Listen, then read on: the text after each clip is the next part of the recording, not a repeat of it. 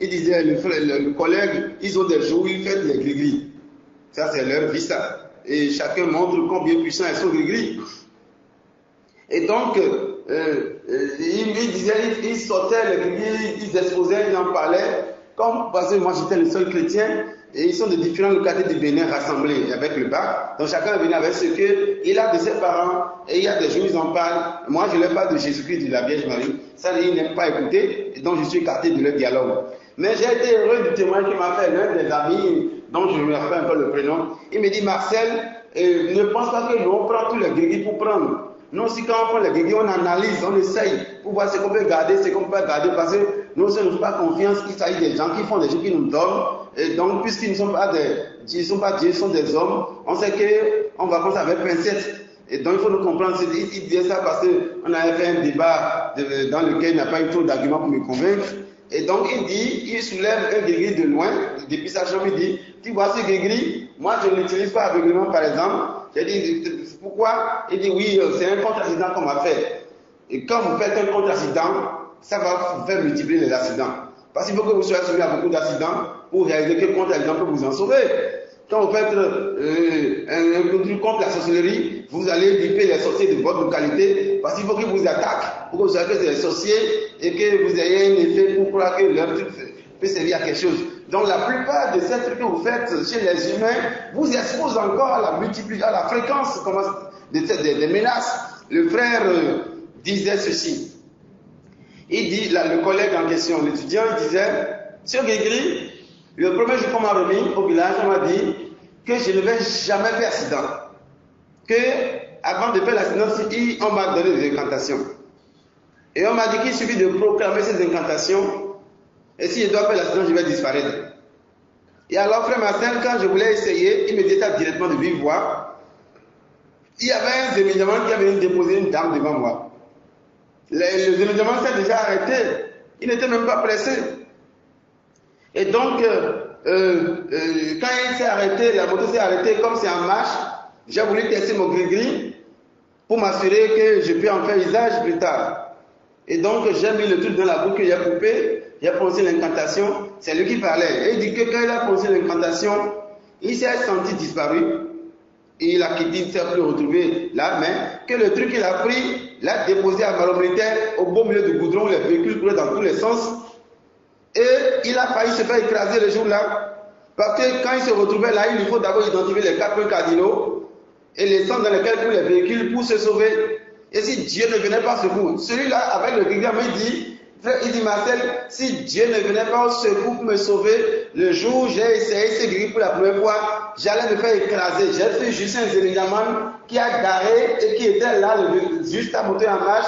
On m'a soulevé de là pour me mettre là où les véhicules pourraient dans tous les sens pour que j'y sois arraché et voir que le gris est puissant. Alors j'ai dit, avant d'essayer ce gris, il faut que je sois en position de sport ou en position de courir dans ma conscience avant de risquer, donc je l'ai mis à part pour dire les gris-gris ont de dates de péremption.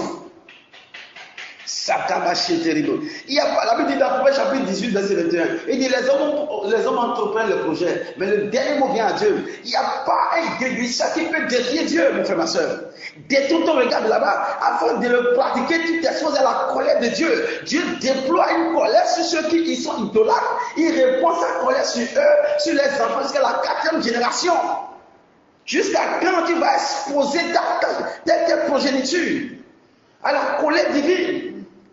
Oh, Jésus touche le cœur de ceux qui m'écoutent et répand le sang de la croix dans la vie au nom de Jésus, afin de renverser les tendances, de briser les chaînes au nom de Jésus-Christ de Nazareth. Amen.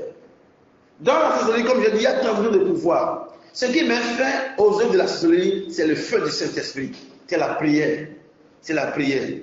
Et voyez, il y a les malédictions générales, comme j'avais dit, qui caractérisent les familles, comme cause qui vous aurait exposé à ces signes que j'ai cités précédemment. Il y a aussi que la Bible dit maudit qui maltraite les parents. Dans le monde spirituel, il y a deux demi-plans. Il y a le demi-plan du bien et le demi-plan du mal. C'est aussi concret comme, le jour et la nuit.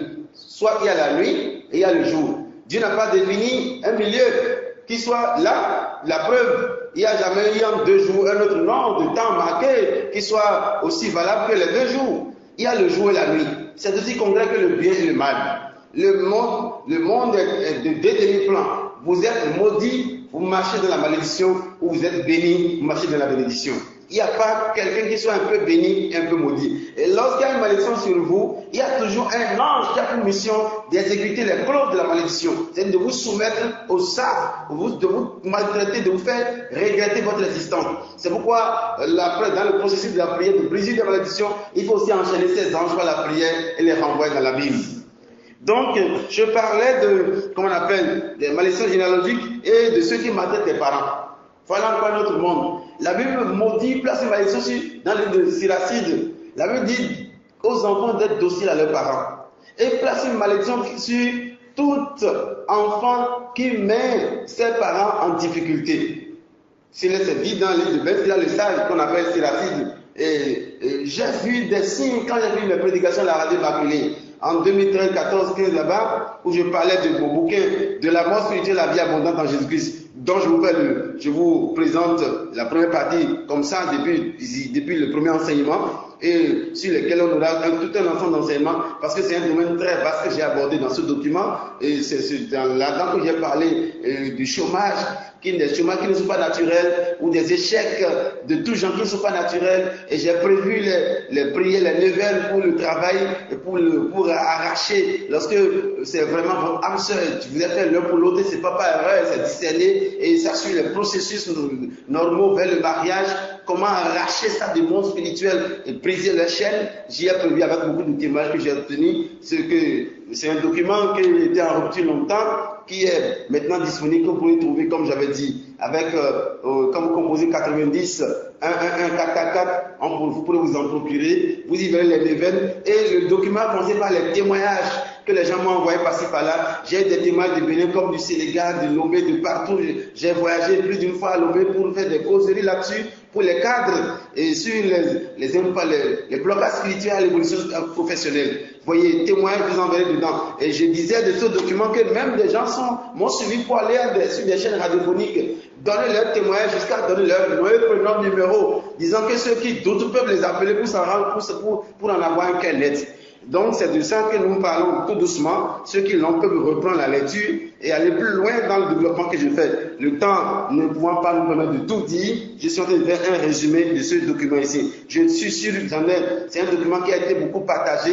Toute personne qui lit, j'ai eu des, des retours de, de, nos laïcs comme de, de nos pères qui ont lu et qui m'ont donné des encouragements là-dessus. Plusieurs pères d'ailleurs qui m'ont invité à tenir des séances ici et là et qui m'ont encouragé là-dessus. Que le Seigneur bénisse tous ceux qui lisent ce bouquin au nom de Jésus-Christ. Donc je disais qu'il y a, quand j'ai fini cette prédication sur le bouquin, j'ai été invité sur la radio Immaculée Concession, j'ai euh, j'ai eu la faveur, je vais dire, d'en parler. J'ai eu un couple de, de nouveau qui est venu me voir. Et lorsque le vieux et sa femme sont venus me voir, ils ont commencé à pleurer. Parce que, vous voyez, je suis jeune, j'ai l'air jeune, je suis jeune, mais j'étais encore plus jeune dans le temps. Et quand ils sont venus, ils s'attendaient à voir quelqu'un de grand, d'âgé, pour bien lui parler, parce qu'il s'agit des, des, gros cadres qui sont arrivés à la retraite depuis. Et il me dit, euh, jeune, quand je t'ai vu, j'écoutais ta voix, je t'ai vu, tu es relativement jeune par rapport à tout ce que j'écoutais de toi depuis un certain nombre de temps la radio Immaculée Conception. Mais, puisqu'il n'y a pas de petitesse, c'est-à-dire en Dieu, c'est Dieu qui est grand en tout le monde, je me permettais de s'exprimer ma situation. Quand il a dit ça, les larmes ont commencé. Pépé pleurait et me aussi pleurait à côté. J'ai dit, ah, Jésus, qu'est-ce qui est ceci que je vois aujourd'hui? Donne-leur le courage d'exposer le problème. Ils ont dit, frère Marcel, tu as parlé des malédictions qui frappent lorsque on maltraite les parents. Et je demande si c'est réel. Parce que voyez, tu vois mon âge, les cheveux blancs, et de toute ma vie, je me suis battu pour la vie de mes enfants. J'ai investi dans leurs études. Et mon enfant qui a évolué le plus, je l'ai envoyé à faire le doctorat. Je sais ce que ça m'a coûté. J'y ai investi tout ce que j'ai, ma pension. J'ai tout investi. J'ai dit, je suis revenu à zéro, juste parce que je veux pousser cet enfant loin pour qu'il aide les autres et m'aider à la retraite. Mais cet enfant, après l'obtention du doctorat, il a rencontré une femme, pris, a rencontré une femme euh, qui nous traite de sorcellerie, de sorciers. Et depuis que notre enfant a eu le doctorat, nous dormons à jeun à la maison, on n'a plus de quoi manger, j'ai plus de quoi donner à manger à sa maman, et sa maman et moi, nous vivons juste du quotidien, nous dormons plusieurs fois à, jeun, et cet enfant est docteur, il a le boulot, il gagne bien, et il dit qu'il ne va pas envoyer son argent au pays pour que nous le tuions, frère Marcel. Qu'est-ce que nous allons faire? Aidez-nous parce que nous n'en pouvons plus. J'ai trop investi dans cet enfant. Son séjour à l'intérieur de la journée, voyez ce que l'hôtel pourrait me coûter, sans compter les solarités et tout. Euh, c'était une retraite que j'ai bien préparée quand il avait du boulot. Imaginez la joie que j'avais. Mais aujourd'hui, je dors à jeun et cet enfant grandit en grade dans ce pays. Frère Marcel, portez-nous en prière. Les deux sont bien encore à pleurer. Quand c'est comme ça, comment pensez-vous, comment pouvez-vous attendre qu'il y ait une bénédiction qu'il y ait une bénédiction sur ces personnes. Comment voulez-vous vous attendre à une bénédiction dans ces conditions Beaucoup de situations, non pas parce que les sorciers les ont envoûtés, mais parce qu'ils ont maltraité les parents. Il avait dit honore ton père et ta mère, tu auras la longue vie. Mais quand il dit déshonore ton père et ta mère, le contraire de longue vie, c'est une courte vie, ou une vie, une vie dépourvue de la sève, une vie dépourvue de, de, de la substance de sa substance.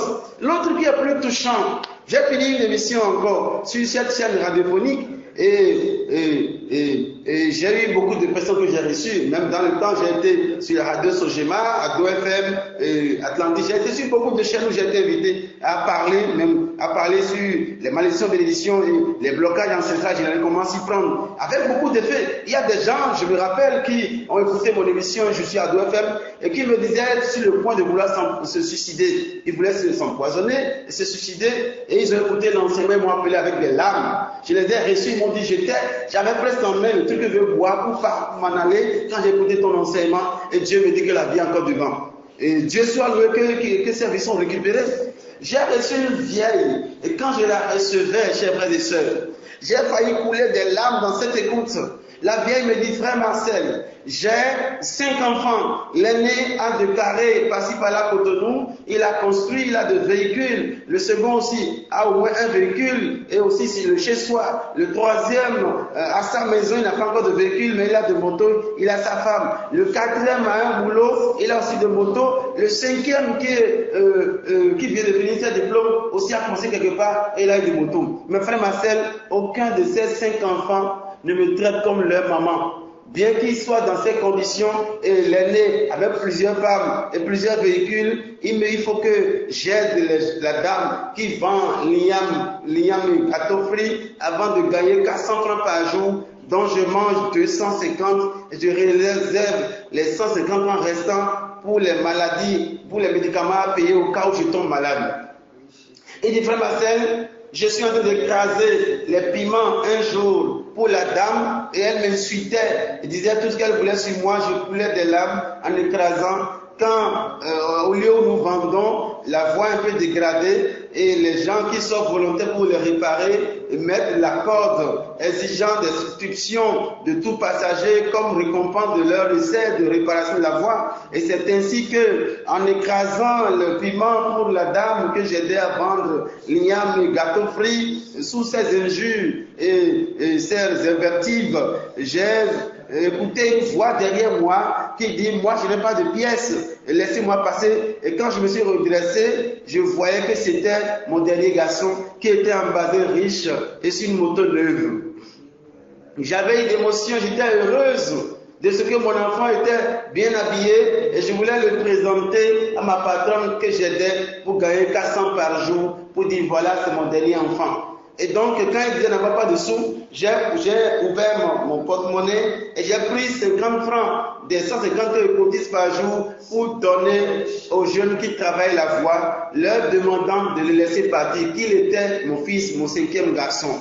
Et quand j'ai fait cela, je m'attendais à ce que mon garçon vienne vers moi pour me saluer et que je le présente à tous ceux qui me maltraitaient pour qu'ils sachent que moi j'ai mis d'enfants au monde. Mais j'ai été surpris, frère Marcel, de ce que, après avoir euh, donné les 50 francs pour qu'on le libère, mon garçon gaze sa moto et il me fait la même maman au revoir, je t'appellerai et il est parti. J'ai failli faire une crise, frère Marcel. Et elle s'est mise à pleurer en disant Qu'est-ce que j'ai fait dans ma vie pour mériter le maltraitant du genre? J'ai cinq enfants qui nourrissent des femmes à Cotonou. Et chacun de, à son chez soi. Et moi, il me faut dormir auprès des gens. Il me faut travailler pour gagner 400 par jour, dont je gagne 200, je bouffe 250 par jour, quelle que soit ma, faim, pour réserver 150 francs au jour où je serai malade. Comment voudrez-vous traiter les parents comme ça et vous attendre à une bénédiction? Je viens maintenant à ceux qui maltraitent les belles-mères, puisqu'on a vu dans les feuilletons ou des films africains des belles-mères sorcières, on a gardé dans la tête que toutes les belles-mères sont systématiquement sorcières. Attention, traiter un sorcier, un ancien de sorcier, est un péché grave qui pourrait vous exposer à la colère de Dieu. Il y en a aujourd'hui qui disent, frère Marcin, quand j'étais allé au village, la manière dont Pépé respirait me, me dit que quelque chose est là. Il dit, mais qu'est-ce que quelque chose? La sorcellerie, on ne soupçonne pas, ne devine pas. La sorcellerie est là avec ses effets ou elle n'est pas là. Et pour combattre un sorcier, ce n'est pas à vous d'aller chercher par vos techniques euh, euh, euh, personnelles qui ne sont pas prouvées. C'est Dieu qui va vous révéler les sorciers. Est-ce même obligatoire que vous connaissez quelqu'un est sorcier? Moi, je m'en fous de qui est sorcier. Ce qui me préoccupe, c'est d'appliquer le feu. Parce que chacun est libre de faire ce qu'il veut. Mais je sais une chose. Le sorcier ne peut pas me regarder face to face. Quand le sorcier regarde dans mon visage, il verra le Saint-Esprit et il verra les limites, c'est-à-dire que les limites de son pouvoir. Parce qu'on ne peut pas avoir deux capitaines dans un bateau. Je sais une chose, je crois en une seule chose. Dans le monde, il n'y a pas deux esprits créateurs. Il y a un seul esprit qui planait sur les eaux, dans lequel tout est créé, c'était le Saint-Esprit. Et tous les autres esprits sont les esprits créés. Donc je crois fermement que quand quelqu'un est baptisé et communie au corps de Christ, les sorciers le craignent, moins que le doute de ce qu'il incarne dans le monde spirituel. Voyez, l'une des choses qui apporte la colère divine sur la vie, la maladie sur la vie, c'est la maltraitance des parents. Chers frères et sœurs, vous qui m'écoutez, où sont vos parents? Oui, c'est tellement, je, je, ne doute pas qu'il y en ait dedans, qu'ils soient des souvenirs c'est-à-dire qu'ils soient des sorciers. Mais quand c'est le cas, je vous dis, le que l'Église demande, c'est de prier d'abord pour leur conversion. C'est de leur manifester beaucoup d'amour au départ. C'est de leur de demander des messes pour leur conversion. Euh, quand vous voulez leur envoyer le bien, vous bénissez le bien. Et tout ce que vous leur envoyez, soit accompagné du sel. Je ne sais pas si c'est vrai, mais j'ai appris que naturellement le sel est barrière dans le monde spirituel. Ce qui fait que dans nos villages, quand les cadres rentrent au village, ils ont, alors qu'ils sont pourris d'argent, leur poche est remplie d'argent, ils se font le luxe de payer les sacs de sel qu'ils distribuent aux gens du village, comme quoi tout ce que tu m'envoies sera bloqué par le sel. Je ne sais pas si c'est vrai, mais dans le monde spirituel, qu'ils vous souviennent que le sel va être béni pour être versé dans l'eau, dans l'Ancien Testament, pour que l'eau ne donne plus la mort. Et donc, euh, vous envoyez les dons, mais que vous, euh, sur lesquels vous faites des jets de sel exorcisés, un peu pour dire, je t'envoie ceci parce que c'est toi qui m'as donné vie. Tout ce que tu me feras en retour est neutralisé par ce sel exorcisé. Il faut prophétiser sur les biens avant d'envoyer. Et donc, je peux comprendre que vous gardez de l'envoi de sous, parce que l'argent vous représente là-bas, et puis c'est bien vous attaquer, mais des objets dont ils ont besoin, vous les bénissez, vous les faites bénir, et vous envoyez, vous faites ce que vous devez, pour ne pas laisser les parents pleurnicher de faire une souffrance matérielle alors que vous avez les moyens. Sinon, ça pourrait tourner en malédiction pour vous. Dieu dit maudit qui combattait les parents. Et donc, il y a aussi, euh, comme, comme cause, vous exposant aussi cité dans l'enseignement précédent, euh, ceux qui avortent. Qu'est-ce que je n'ai pas dit encore d'avortement J'en ai dit beaucoup de choses. Et le livre de Deutéronome, comme le livre de Lévitique, nous dit qu'il soit frappé à mort celui qui verse le sang Dieu va dire dans Isaïe chapitre 1 verset 15, quand vous élevez les mains pour prier, je ferme mes yeux. Quand vous criez fort, je ferme mes oreilles. Vous avez vous fait des prières sur prières. Vous avez multiplié les prières que je n'écoute plus parce que vos mains sont impliquées dans le sang. Oui, aujourd'hui, il est euh, légalisé que dans un contexte sanitaire, pour se regarder l'une vie sur deux, euh, on peut, on peut, on peut aller à l'extrémité de l'avortement, mais toujours dit que ça reste une infraction à la loi divine. C'est pourquoi, avant d'y aller, il faut que ce soit réellement sur injonction juridiquement fondée, que ce ne soit pas de votre instabilité. Voyez, nous devons obéir à la loi euh, qui régit nos États, parce que la Bible nous oblige à nous soumettre aux autorités, mais nous avons aussi à vivre dans la crainte de Dieu. Je continue de dire chaque fois que la loi ne nous fait pas un envoi en mission à l'avortement. La preuve, c'est celui qui expose sa vie à ces fléaux, qui en subit les conséquences. Si vous, vous pensez que c'est un libertinage que ça occasionne, c'est vous qui allez de cela porter les conséquences. En tant que l'avortement détruit plus que la sorcellerie, et c'est libre de la sorcellerie, un seul avortement peut mettre toute une vie en danger, je vous le dire. Ça là, il n'y a pas d'arrangement possible à faire. Sans une prière, sans le processus normal de repentance, de prière pour les enfants, de leur baptême, de brise des malédictions. Lorsque vous, vous, vous négligez cela, vous traînez les conséquences jusqu'au soir de votre vie. Ça, c'est une parenthèse. Donc, il y a aussi, comme je disais, que les vies qu'on détruit n'importe comment, où il y a des spécialistes. J'ai appris qu'il y a des gens chez qui certaines personnes vont, et il suffit juste qu'ils voient la grossesse, et avec quelques incantations, et l'enfant tombe. Vous, vous, vous, vous ne savez-vous pas que ainsi, vous êtes en train d'exposer vos entrailles euh, aux sorciers vous allez chez les sorciers qui font des incantations sur vos ventres et on dit quel que soit le temps que l'enfant a fait, il suffit que vous allez chez telle personne, dès qu'il voit la grossesse, il prononce quelques incantations, l'enfant tombe. Ce qui fait qu'après l'avortement, vous ne faites plus d'enfants. Parce que lorsque les sorciers détruisent les enfants, ils vont avec vos placentas. Ça travaille. Ils bloquent vos trompes. Mon frère Marcel, c'est ça. J'ai reçu quelqu'un une fois qui m'a dit que, il m'a dit, frère Marcel, avant de faire les gris avant d'arriver au niveau où je suis aujourd'hui matériellement, il m'a fallu faire un gris-gris qu'on m'a confessionné à base du placenta d'une femme. Il a fait payer un placenta qu'il a donné et on a fait gris-gris avec le placenta pour qu'il puisse garnaquer les gens. Aujourd'hui, je suis Jésus-Christ, gloire à Dieu. Donc, euh, l'une des causes des frustrations, des confusions, des morts prématurées ou de vie sans vie, de vie pour vivre ou de menaces de mort aujourd'hui est le fait de détruire une vie prématurée sans raison fondée. Sans raison fondée. C'est ainsi qu'une dame est allée se faire détruire l'enfant et, quand elle est allée chez le docteur, elle était allée avec un enfant de deux ans et demi ou trois ans qui parlait, qui euh, euh, qui, était euh, euh, avec elle. Et le docteur dit, Madame, tu es venue pour que je détruise ça. C'est avant, avant qu'il y ait des, lois. Hein. Et le docteur dit, ce qu'on va faire, je reçois fortement dans mon cœur que j'applique le couteau à cette fille qui a trois ans pour la tuer et que tu gardes l'autre jusqu'à la mettre au monde. La dame dit non, jamais on va faire ça. Elle dit oui, parce que celle-ci a déjà fait trois ans au moins de vie, alors que l'autre est en chemin. On va donner la chance à celle qui vient aussi de faire trois ans avant de s'en aller, la dame dit ça, on laisse tout. Et c'est comme ça que ce docteur a aidé la dame à consommer ses deux enfants. Après l'accouchement, elle allait remercier le docteur parce qu'elle avait tellement aimé l'enfant, qui était un enfant très belle et qui est un enfant béni aussi. Voyez, donc, l'une des causes, c'est ça. L'autre chose, c'est les critiques. La Bible dit maudit qui critique les hommes de Dieu. Vous allez voir, lorsque euh, Myriam se mettait à critiquer dans l'Ancien Testament l'homme de serviteur de Dieu, Moïse, la colère de Dieu l'a frappé, elle a frappé de lèvres partout sur son corps. C'est comme ça, lorsque vous critiquez un serviteur de Dieu qui est sincère dans sa foi, vous provoquez la malédiction sur vous, vous provoquez la lèvre spirituelle. Lorsque vous critiquez un prêtre, c'est pourquoi je ne participe pas souvent à ces critiques, n'étant pas, euh, n'ayant pas eu l'appel d'aller là-bas, je me dis chacun, à chacun euh, de s'occuper de sa vie. Lorsque vous vous asseyez pour critiquer un serviteur de Dieu, pourvu que l'Esprit de Dieu soit sur lui. Parce que lorsque Myriam et, l'autre critiquaient le serviteur de Dieu, Dieu va poser une question en disant, ne sais-tu pas que mon esprit est sur lui? Ne sais-tu pas que c'est moi qui l'ai appelé? Dieu sait qu'il est faible avant de l'appeler au service. Et Dieu sait que c'est à lui qui rendra compte. Et donc quand vous mettez à la critiquer, Dieu répond la colère de Dieu sur vous.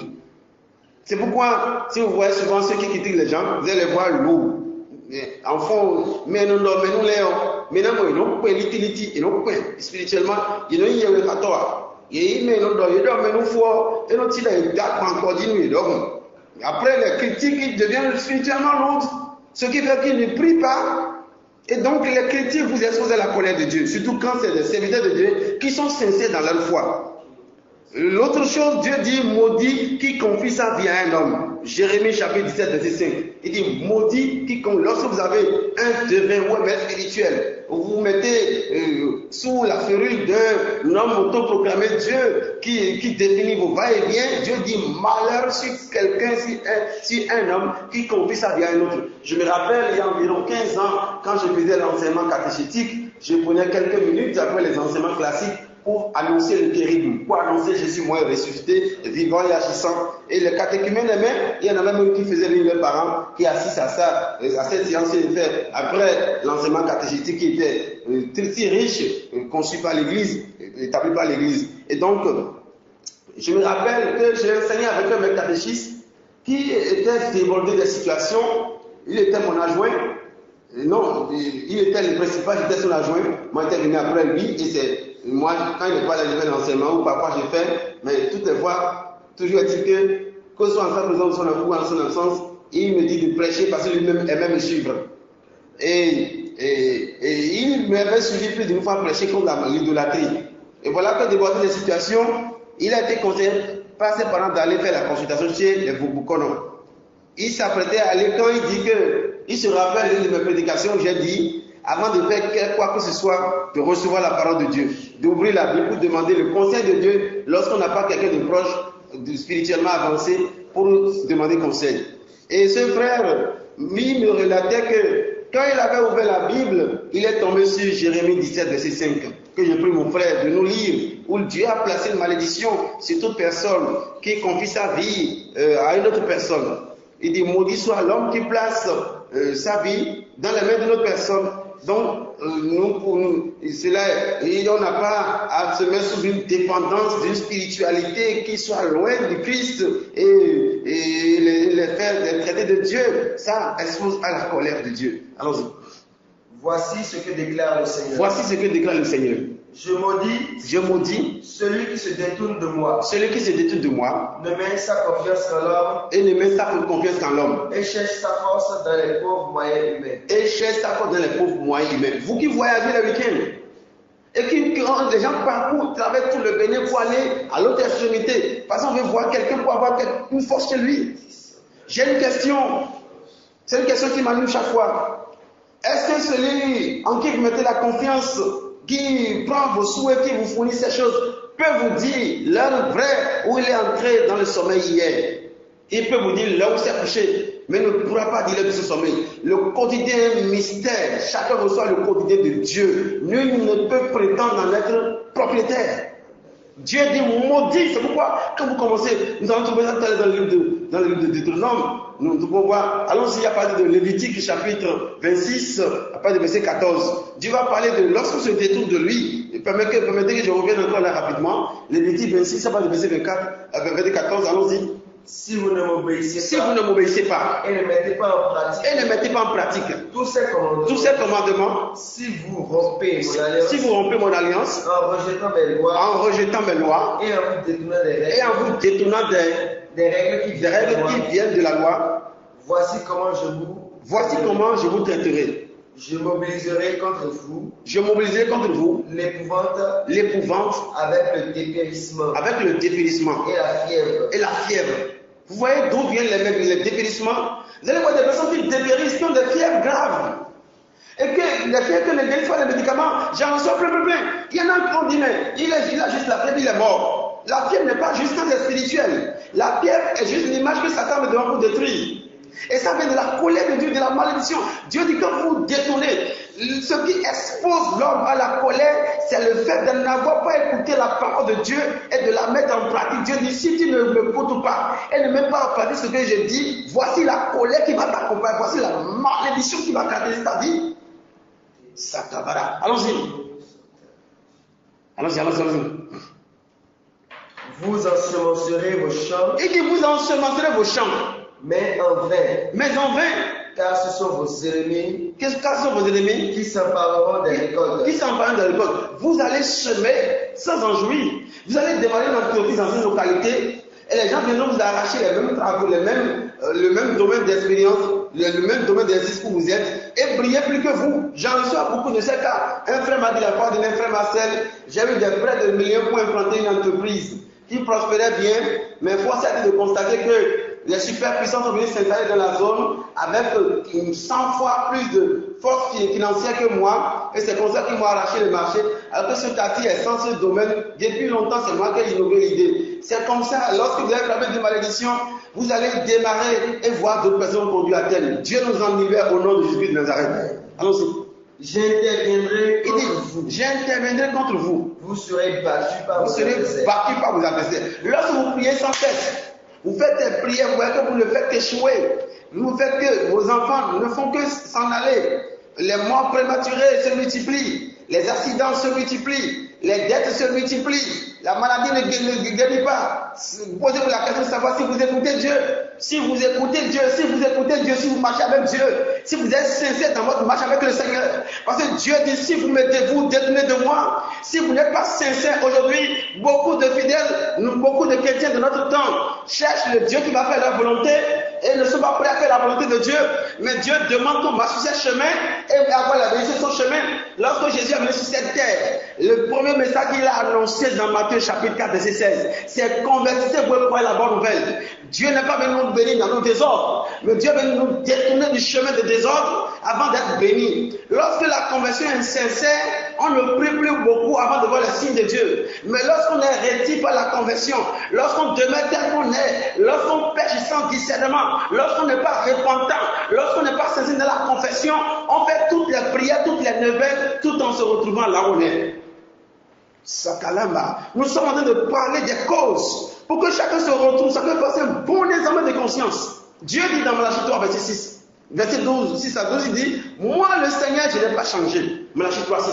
Il dit Moi, le Seigneur, je n'ai pas changé. Le Dieu que nos pères ont adoré, le Dieu d'Abraham, d'Isaac et d'Israël, qui a fait pleuvoir la manne, qui a sauvé Daniel dans la fosse au lion, qui a mis le peuple d'Israël pendant 40 ans, qui a protégé les trois enfants dans la fournaise. Il demeure le Dieu de notre temps. Il demeure le Dieu d'action. Il fait les mêmes choses aujourd'hui. Il fait pleuvoir la pluie, la preuve. Il fait lever son soleil. Il dit, je n'ai pas changé.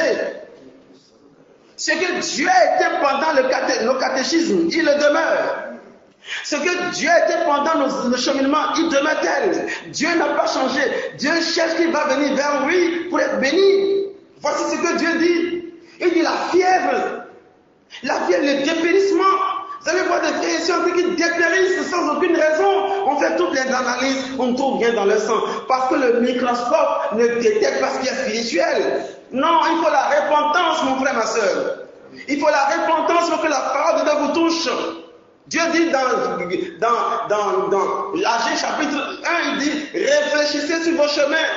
Vous semez beaucoup, vous récoltez peu. Et le peu que vous récoltez, vous les déposez dans des poches trouées. Vous mangez sans être rassasié. Vous mangez sans être rassasié. Réfléchissez sur vos chemins. Dieu nous invite à une réflexion approfondie sur notre vie, à passer notre vie au crible, à un examen de conscience sincère, illuminé par le Saint-Esprit. Écoutez ce que la Bible nous dit dans dans le dit, continue la, la, parole. Dieu continue d'expliquer les causes. Vous tomberez sous la domination de vos ennemis. Il dit, vous tomberez sous la domination de vos ennemis. Vous fuirez, Vous fuirez, même si personne ne vous poursuit. même si personne ne vous poursuit. C'est pourquoi vous, allez voir des gens qui partout, ils, sont- ils voient des sorciers. Ils voient des courent. Je vous ai dit la fois dernière que un fournisseur en Christ est en train de prier aussi sacrément. Et tombe et elle se met en fuite. J'ai dit, mais le capa est plus fort que Jésus qui est présent. C'est parce qu'il y a la dépression. C'est parce qu'elle ne se possède plus. Elle est frappée par la colère de Dieu. Comme le dit la parole de Dieu. Et reprend encore cette partie. Mon frère Massa, reprends encore cette lecture pour eux. Pour nous tous. Il dit qu'on voit l'ennemi partout. On fuit même alors qu'il n'y a pas un ennemi. Vous tomberez sous la domination la de vos ennemis. de vos ennemis. Vous fuirez même si personne ne vous poursuit. Vous fuirez si, même si personne ne vous poursuit.